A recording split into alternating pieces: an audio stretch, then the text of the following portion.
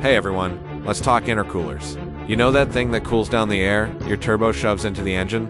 Yeah, that's it. Doubt where you put it makes a huge difference. Today we're looking at top mount versus front mount. First up, the top mount intercooler, or TMIC. It sits right on top of your engine. The biggest pro, super short piping. This means less turbo lag and a snappier throttle response. It's compact and often comes standard on cars like the Subaru WRX. The downside? It gets heat soaked from the engine below, which can reduce its cooling efficiency, especially when you're sitting in traffic or driving hard.